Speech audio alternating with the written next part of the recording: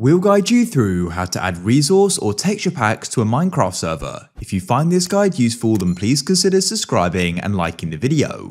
It's super useful to go and do this so when somebody goes and joins the server they can go and download the pack. So first of all we'll be covering this for both servers hosted on your own computer and also on a Minecraft server host. For example, here's the server I'm hosting on my own computer, but also you may go and have a server with a Minecraft server hosting provider. For example, I have one with Apex Hosting. There's a lot of benefits to hosting your server with a hosting provider. So if you're looking for one, check out Apex Hosting. A big thanks to them for sponsoring this video. There are so many benefits to using a server host. For example, having support, 24-7 servers without keeping your computer on the whole time, and so many other awesome benefits. I'll put a link down below if you're interested, and at the moment you can get 25% off your first invoice. So make sure you check them out using the links down below. A big thank you to Apex for sponsoring this video, and thanks for listening. But to go and continue with the guide, first of all, make sure you've got the texture pack ready. For example, I'm doing it with this X-ray texture pack here.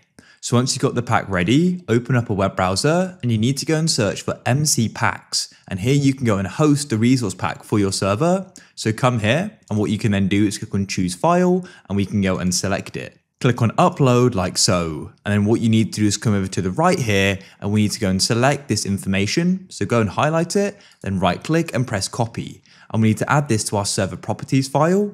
So first of all, we'll do this when we're hosting a server on our computer. I'll just go and shut down the server for now. And then what you need to do is go and open up server.properties. Scroll down here until you can go and see resource pack and then just go and place your cursor there. And you can delete what's currently there like so, and then you can paste in what we just copied. And once you've added that, you can then go and remove the other shell as well because we've already added a shell. Once you've made the changes, click on file and click on save. If you're using a web hosting provider, you need to come to your files. I'll click on FTP file access and sign in and do the same thing. Find server.properties and come over to the right and go and click on edit. Delete where it says resource pack like we did before and you can then paste in what we copied. And what you can then do is go and click on save. After you've done that, you can click on back and what you'll need to do is go and restart your server, whether you're hosting it on your own computer or on a host. I've now started both servers, and so now when we go and join one of them, we go and get this pop-up saying this server recommends the use of a custom resource pack. Would you like to download it and install it automatically? Press yes and it will download it and run it.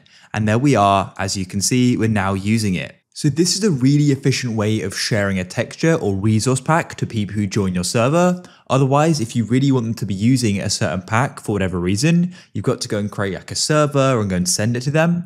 But this way, as soon as they try and join the server, they go and get this pop-up and they can easily go and get it. Um, and then they can go and enjoy your server to the max because depending upon what type of server you have, it may be sort of required in a way for it to fully go and work properly, especially if you've got some type of mini game server potentially or something on the lines of that.